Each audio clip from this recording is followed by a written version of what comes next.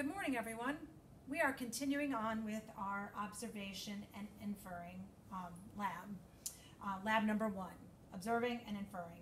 So we just viewed station A, and now we're moving on to station B.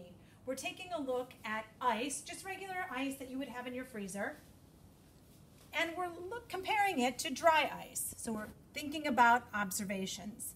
So notice this about our ice. It looks like it's melting. So we've got solid ice, and then we've got, whoa, something that's a liquid as well. So we've got two states of matter here. Notice that it's melting, and you, you, you're familiar with this because you have ice at home. And we put it in our drinks.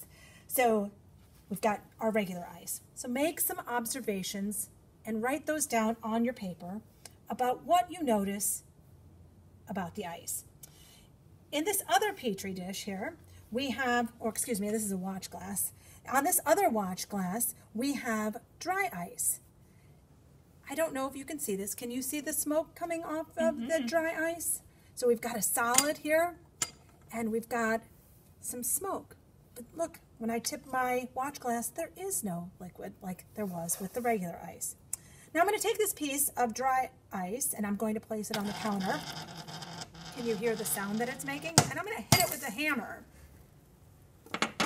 And notice, notice what happens.